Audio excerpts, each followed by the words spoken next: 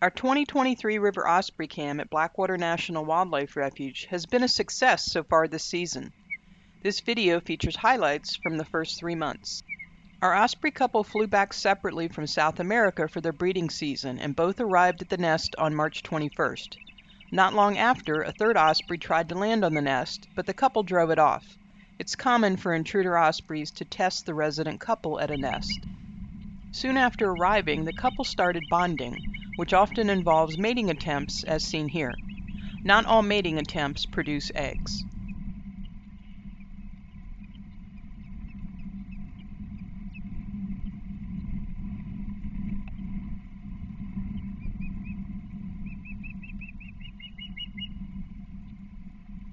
We have night vision on the river cam so we can see action after the sun goes down. Here a muskrat was swimming by the nest platform which sits in the Blackwater River. We also sometimes see snapping turtles and even river otters swimming by. We also caught one of the adults coughing up a pellet in the early morning. Pellets contain scales and bones from their fish meals that the ospreys can't digest.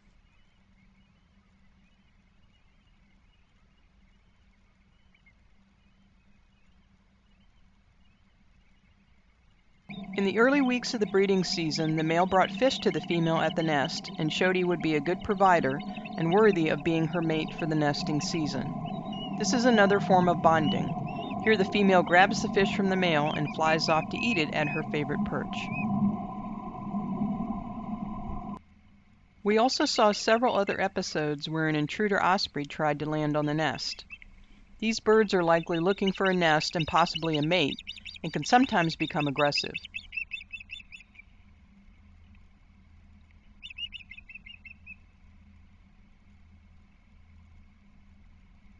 Around April 19th, we noticed the female was sitting down in the nest as if she was on eggs. In addition, we noticed that when she left the nest, the male was taking her place as if he was also incubating, so it was clear that the couple had produced eggs. The adults must keep the eggs a certain temperature throughout the incubation process for the chicks to develop properly.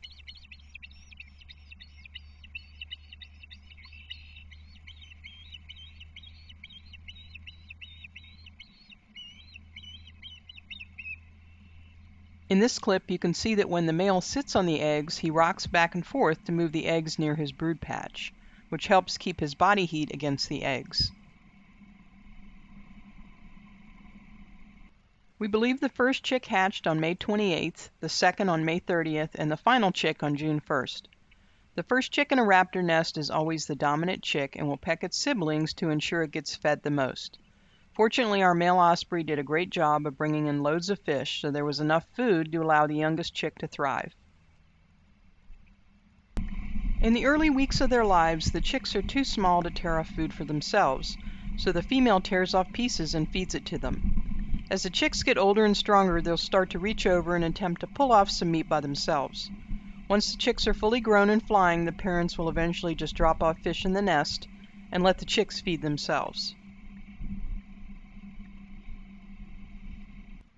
In most osprey nests, the female is the only adult who feeds the chicks, but sometimes you'll see an osprey nest where the male will help as well.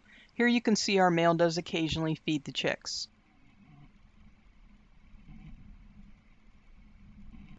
As the chicks develop their first set of feathers, they begin to practice flapping their wings as they work at building up the strength they'll need to one day fledge the nest.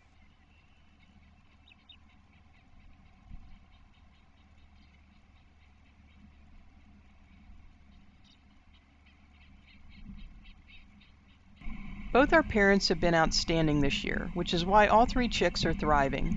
Here you can see the female catch a big fish and feed the chicks through a summer rainstorm. It takes a lot of work to raise three hungry osprey chicks.